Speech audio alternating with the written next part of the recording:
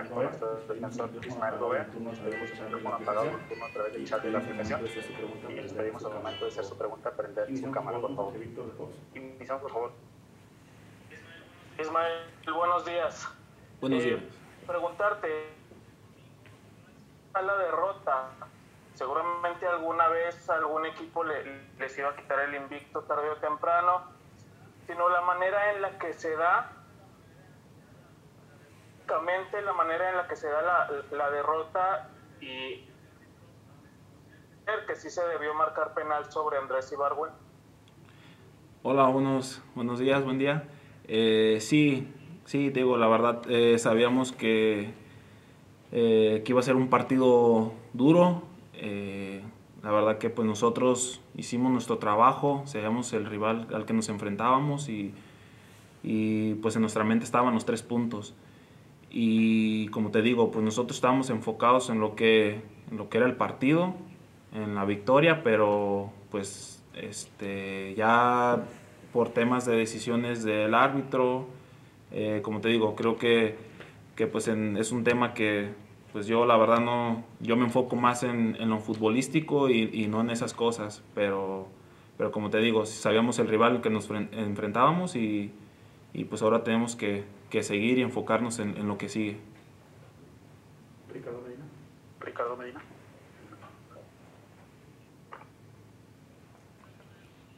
¿Qué tal Ismael? Buen día, aquí Ricardo Medina para Imagen Laguna.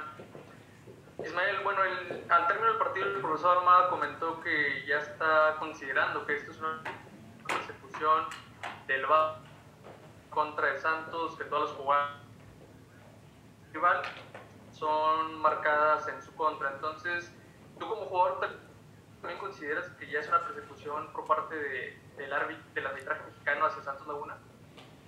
Eh, sí, como, como te comento, mira, la verdad es que pues nosotros más que nada nos enfocamos en lo que es el partido, ya pues las decisiones de los árbitros ya ellos las tendrán que tomar dentro de la cancha y como te digo, pues uno, uno está más enfocado en, en lo que está sucediendo en el partido, en- sé que hay jugadas en las que, en las que pues son, son dudosas y como te digo, eh, la verdad que uno, uno trabaja para, para hacer lo máximo dentro del campo y, y así este, estar enfocados y, y en lo que queremos. Luis Jiménez. Gracias, eh, Carlos. Eh, buenos días, Ismael.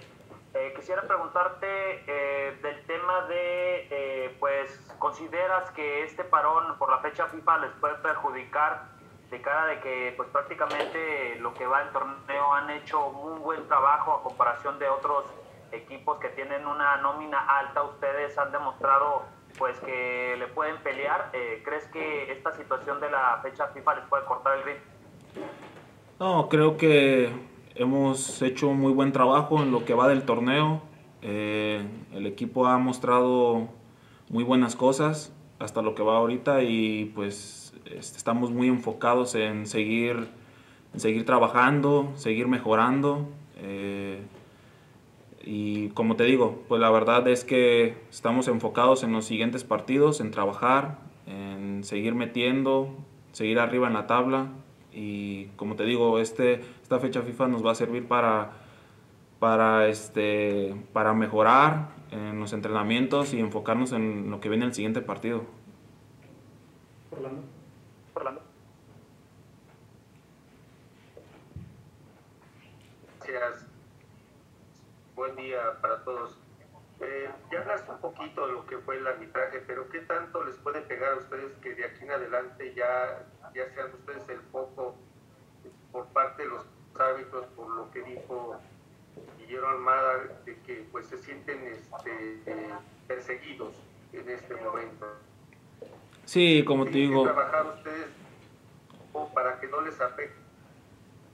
Sí, como te digo, nosotros más que nada tenemos que enfocarnos eh, dentro de la cancha en nuestro trabajo, en, en las acciones que suceden y, y en el partido.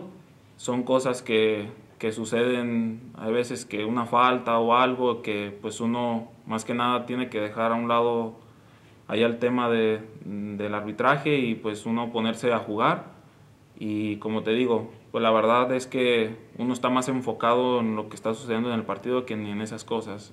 Igual pues ya las decisiones las, las tomarán los árbitros, pero sí sabemos que en algunos partidos pues la verdad sí se han tomado unas decisiones eh, que la verdad pues sí no nos han favorecido. Jorge. Jorge. nuevamente por acá. Eh, de alguna manera, ahora que les hicieron falta Santiago y, y Alan Cervantes, sabemos lo importante que son, sobre todo porque habían jugado gran cantidad de minutos. En ese sentido, cuando les hace falta a alguien que por lo regular es titular, lo resiente el equipo no en cuanto a calidad, sino porque el jugador que lo releva por ahí no tiene tantos minutos en el torneo. Sí, sí, la verdad, mm, Alan y Santiago, pues sí, la verdad son muy, muy buenos jugadores, eh, nos aportan mucho al equipo y como te digo, pues uno igual, cualquier compañero que esté detrás de ellos, sabemos que trabaja día con día, eh, se, gana una oportunidad para estar ahí. Sabemos que todos competimos por un puesto y, igual que le toque estar, siempre lo va a hacer de la mejor manera porque todos nos apoyamos, eh, estamos, estamos pendientes de, de, lo que pueda suceder y como te digo, la verdad que, que pues el equipo, el equipo se mostró bien, eh, sé que pues tal vez no han tenido, no han tenido la continuidad mm, de los que no, habían estado jugando y este, te digo, la verdad es que, es que pues cualquier compañero que le toque, sé que, que pues, va a dar el máximo. Cerramos contigo, Axel. Cerramos contigo, Axel. Gracias, ¿qué tal, eh, Ismael, eh, compañeros? Eh, un saludo a todos, buen día. Axel Angle, TC Deportes, Ismael.